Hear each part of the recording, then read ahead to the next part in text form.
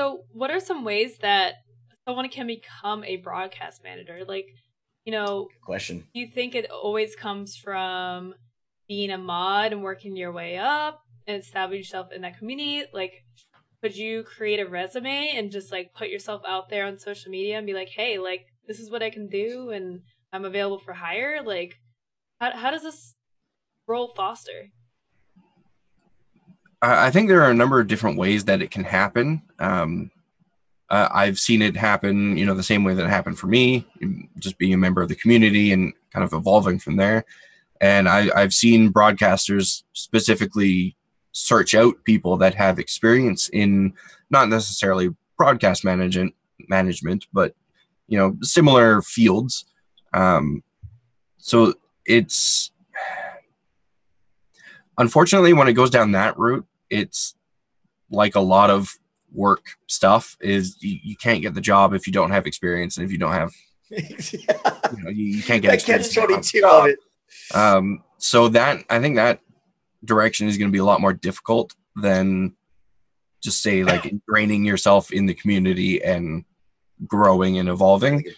Um, plus, doing it that way gives you the benefit of learning how the the community function functions and the broadcast functions. Mhm. That's going to be a huge part of your job, but you know, there's no reason why you can't just put a resume out there.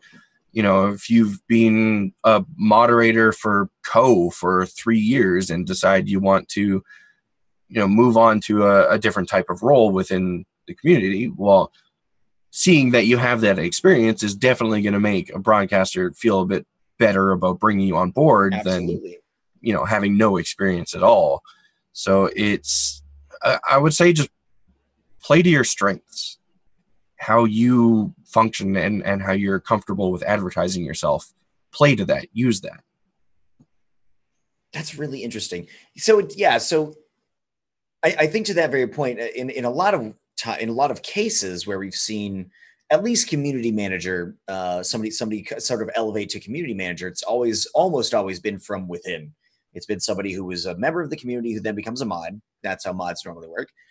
Mods who then somebody who's super dedicated to the stream and is you know pumping out ideas and seems to be handling things on their own without needing to be poked and prodded in some circumstances then maybe gets elevated up there like they're they're just inherently showing their value to the to the stream and then you know from there sometimes up uh, even one step above to the broadcast manager that's that organic kind of growth. I expect though then again back to the beginning of the stream three years down the road i expected something very different in the industry as a whole when it came to management.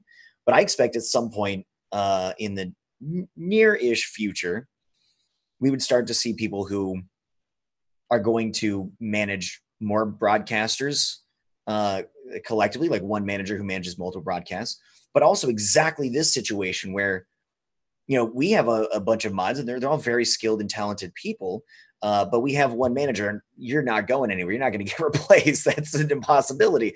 So they might have a really good fit for management, but it just can't be here. They can shop that out somewhere else yeah absolutely easily put that like what you said is like you i was i was i've been a mod for code for three years like a mod four times a week for you know six hours at a time our co-streams in shorter batches but you know for a chunk of time and here's the reference and here are the other people on the mod team talk to them exactly how you'd shop at any job.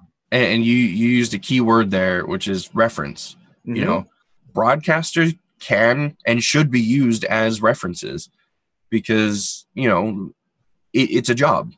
Like when it comes right down to it it's a job.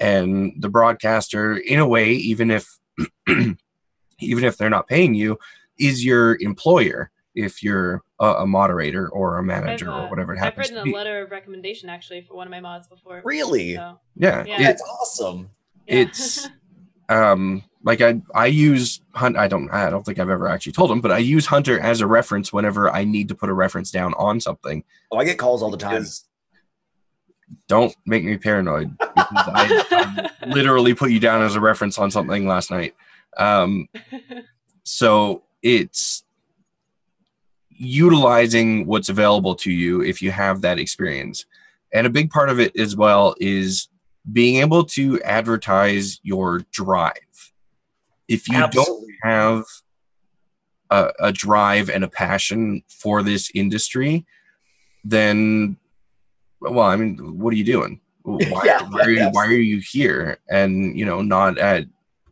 corporate Joe Incorporated or, or whatever?